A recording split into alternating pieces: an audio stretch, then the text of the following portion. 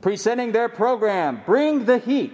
WGI Sport of the Arts is proud to present Seven Lakes High School Indoor Percussion Ensemble.